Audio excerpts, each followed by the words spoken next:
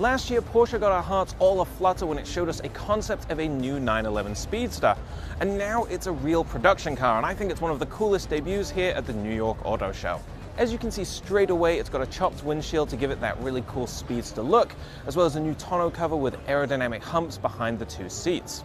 Now, yes, you can raise a manual convertible soft top over the cabin, but frankly, I think the Speedster looks at its best with the roof down.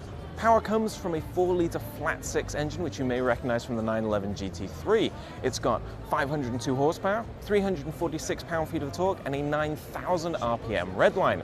That engine's paired with a 6-speed manual transmission, which Porsche says is about 40 pounds lighter than its PDK dual-clutch transmission.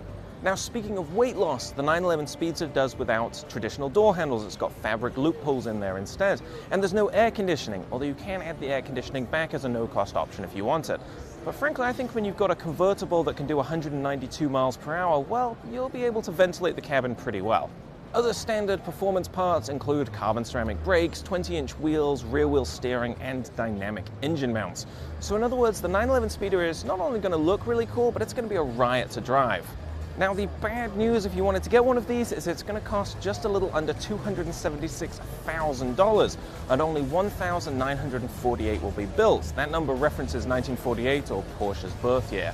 So if you want one, well you better call up your dealer right now.